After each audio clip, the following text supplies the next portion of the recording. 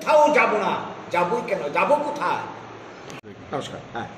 আপনারা জানেন যে গত সতেরো তারিখে এই মাসে অক্টোবর ভারতের মহামান্য সুপ্রিম কোর্টের সাংবিধানিক বেঞ্চ পাঁচশো সদস্যের চারজন একমত, আরেকজন ভিন্ন মত পোষণ করেছে।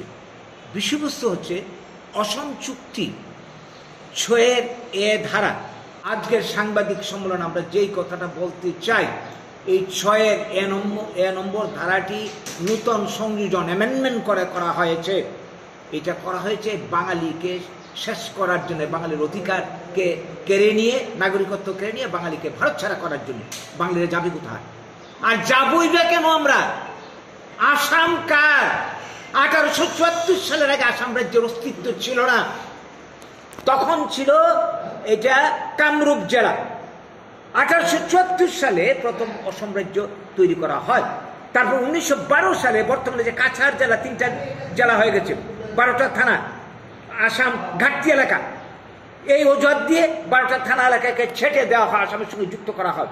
সেখানকার যে মানুষ, গোটা আসামের আয়তন আটাত্তর হাজার বর্গ কিলোমিটার, তার মধ্যে আটত্রিশ হাজার বর্গ কিলোমিটার এরিয়া আজকে গোটা কাছাড়, হুজাইলঙ্কা, লামডিং কামরূপ জেলা থেকে শুরু করে এই গোয়ালপাড়া জেলা পুরোটা বাংলার আদি অঞ্চল। এখানকার মানুষ যারা, তারা আদিবাসী, বাঙালি। আজকে তাদেরকেও বিদেশি চিহ্নিত করা হচ্ছে। তাদেরকেও সধি সেনার প্রমাণ দিতে হবে, নাগরিকত্বের প্রমাণ দিতে হবে। স্বাধীনতার জন্য সর্বস্ব উজাড় করে দিয়ে বাঙালিকে প্রমাণ দিতে হবে। এটা আমরা কেন মানব? কিন্তু তারা দাবি তুলছে, তারা ষড়যন্ত্র করছে, আসাম ছাড়া করবে তারা মানে ভারত ছাড়া করবে। ওরা যাবে কোথায়? বাঙালিরা। এবং এই আইন শুধু আসামি না, গোটা উত্তর পূর্বাঞ্চলে একই স্লোগান চলছে। ত্রিপুরাতে স্লোগান চলছে উনপঞ্চাশ সালকে ভিত্তি বছর ধরে। আপনারা জানেন সবাই এই সমস্ত খবর। স্লোগান চলছে ঝাড়খণ্ড, স্লোগান চলছে গোটা ভারতে, বাঙালিরা যাবে কোথায়? সমস্ত আইন আজকে বাঙালিকে শেষ করার জন্য। তাই এই ব্যাপারে আমাদের আজকের বক্তব্য, আমাদের আজকের প্রতিবাদ। আমরা উদ্বিগ্ন। এই আইন অতি শীঘ্র এখন কার্যকরী হবে। গোটা দেশ জুড়ে এনআরসি প্রয়োগ হবে, আসম চুক্তি বাস্তবায়ন হবে, ত্রিপুরাতে বাস্তবায়ন হবে, উত্তর পূর্বাঞ্চলে হবে। প্রায় দুই কোটি বাঙালি আমাদের অনুমান এই আইনের কূপে পড়বে।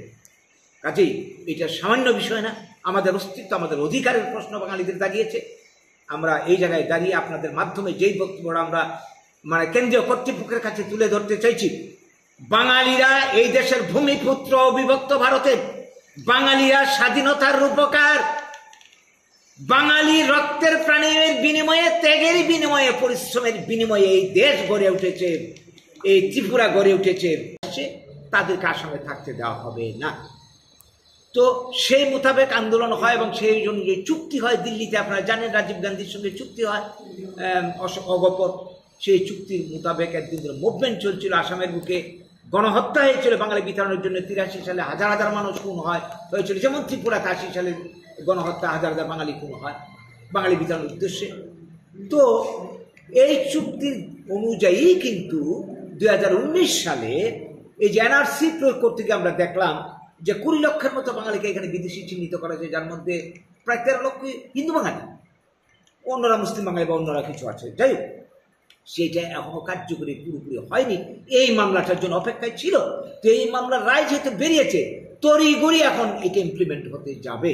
এবং শুধু আসামি হবে না এটা হবে পশ্চিমবঙ্গ, ত্রিপুরা, উত্তর পূর্বাঞ্চল সবকটি রাজ্য এবং আজকের পত্রিকাতে রয়েছে, বর্তমান বিজেপি গভর্নমেন্ট স্লোগান তুলেছে, এই যে ঝাড়খণ্ড নির্বাচন যেটা সামনে আসছে, এই ঝাড়খণ্ড ওরা এ আইন প্রয়োগ করবে এনআরসি প্রয়োগ করবে। তার মানে গোটা ভারতবর্ষে এই আইন তারা প্রয়োগ করবে, বিদেশি বিতরণ আইন প্রয়োগ করবে, এই আসামের চুক্তিকে কেন্দ্র করে এনআরসিকে কেন্দ্র করে।